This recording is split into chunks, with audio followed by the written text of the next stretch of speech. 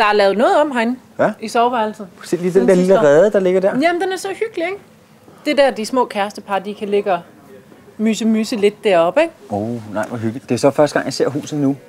Og hvis, øh, hvis jeg vidste, at det var så fedt, så ville jeg have sagt ja meget før, selvom jeg ikke var blevet spurgt. Øhm, og så også, øh, altså, jeg er 38 år. Jeg, øh, mit, mit liv er, er, er, har meget med børn at gøre, eftersom jeg har tre.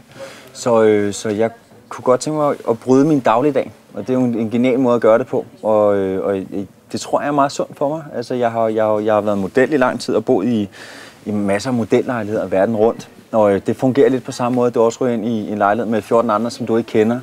Jeg har gået på mange øh, højskoler, øh, rytmisk højskole i Vi, og, og, og sådan, øh, hvor, hvor man også har boet mange øh, forskellige mennesker sammen. Og for mig, der virker det sgu også sådan ret udviklende på et personligt basis. Det der med, at du kommer ind i en flok, og så får man sgu også noget indsigt af det der med at fungere sammen med andre mennesker. Det har, det har jeg altid haft, haft det meget fedt med. Jeg tror, jeg får organiseret, at vi rykker alle sengene sammen.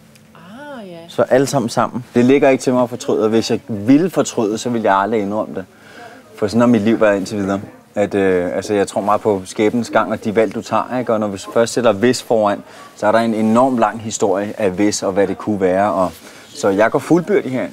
Altså, man kan, og med, hvad det, i øjenhøjde med alle de andre deltagere. Altså, nu er han jo husvært. Så øh, han kommer til at få sat skub i nogle ting herinde, og måske også, at øh, Big Brother og jeg sådan kan, kan tage fat i ham en gang imellem, og så lige, øh, lige snakke lidt med ham, få ham til at, at gøre lidt, øh, lidt af hvert. Når jeg selv har tænkt over det, så øh, vil jeg gerne meget bidrage til den fede stemning. Og jeg er jo en gammel rev, og jeg er altid øh, frisk på for en god historie.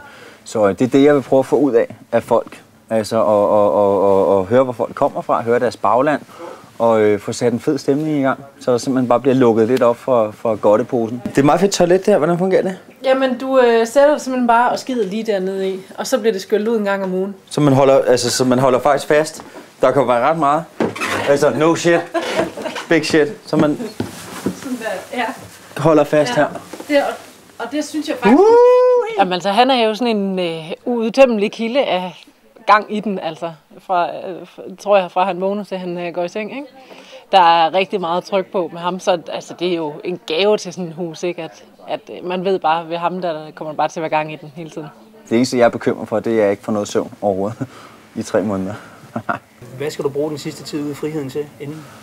Øhm, det vil jeg ikke måske sætte mig, sidde mig og rive den lidt af hjemme i stuen, altså benytte mig lidt af det, øhm, gå lidt nøgen rundt i min lejlighed. Nej, jeg tror ikke, der er så meget, øh, altså selvfølgelig have så meget tid sammen med mine børn som muligt, og jeg har også sørget for at, at have dem alle omkring mig her i julen. Det er faktisk min første organiserede jul, fordi jeg har den her deadline, så, øh, altså, så no sweat. Jeg sveder over det, når jeg begynder at filosofere over, at jeg skal have og sådan noget der, men øh, jeg tror, måden at komme det her i møde på, det er bare at stille det frigir, og så få det bedste ud af det. Altså at, at nyde den så meget som muligt. Min største udfordring, det bliver måske at, at, at, at, at opretholde sådan status herinde, så det er, at jeg kan komme ud og møde verden igen, efter jeg har været her.